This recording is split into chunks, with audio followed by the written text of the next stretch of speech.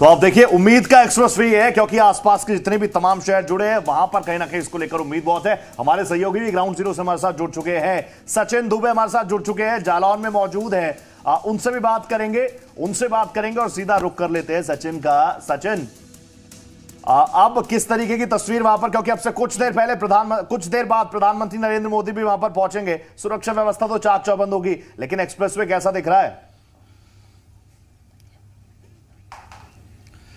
बिल्कुल रोहित, आपको बता दें कि देखिए फराटे भरने के लिए बुलंदशहर एक्सप्रेस जो है, वो तैयार हो चुकी है। आप मेरे पीछे देखिए, यही वो एक्सप्रेस वे है जो तैयार है और आज पीएम नरेंद्र मोदी इसी का उद्घाटन करने के लिए जो है, वो पहुँचने वाले हैं। बड़ी बात आप यहाँ पर ये देखिए दो सौ छानबे किलोमीटर लंबी जो ये बुंदेलखंड एक्सप्रेस वे है और इसी की तैयारी को लेकर लगातार तमाम जो अधिकारी हैं तमाम जो आसपास के लोग हैं, वो लगातार लगे हुए हैं। पूरी कोशिश ये की जा रही है कि पीएम नरेंद्र मोदी के आने से पहले ये जो तमाम तैयारियाँ हैं, वो अंतिम रूप में जो लगातार चल रही हैं, वो खत्म हो जाए, क्योंकि कल बारिश जो है, वो बहुत ज़्यादा हुई है।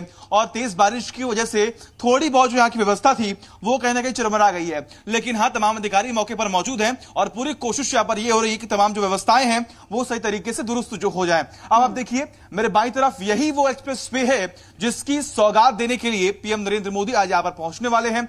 लंबी जो गाड़ियाँ हैं, वो यहाँ पर तेज रफ्तार से भागेंगी और दो सौ छियानबे किलोमीटर की ये लंबी एक्सप्रेस वे अब तैयार हो चुकी है, जिसका उद्घाटन करने के लिए पीएम नरेंद्र मोदी यहाँ पर पहुँच रहे हैं। उसके साथ ही सीएम योगी आदित्यनाथ भी मौके पर पहुँचेंगे।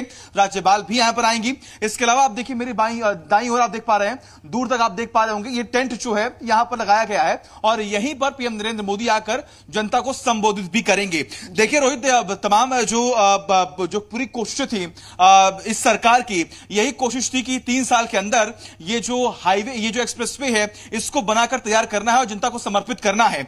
जो निर्धारित समय था, उससे लगभग पाँच से छह महीने पहले ही ये जो बुंदेलखंड एक्सप्रेसवे है, ये बनकर तैयार हो चुका है। मेन मोटिव की अगर हम बात करें, मेन एम की बात करें तो यह कहा गया तमाम अधिकारियों की तरफ़ से, सरकार की तरफ़ से कि इस बुंदेलखंड एक्सप्रेस की वजह से ही जो पलायन की समस्या थी, जो रोज़गार की समस्या थी, जो इंटर कनेक्शन की समस्या थी।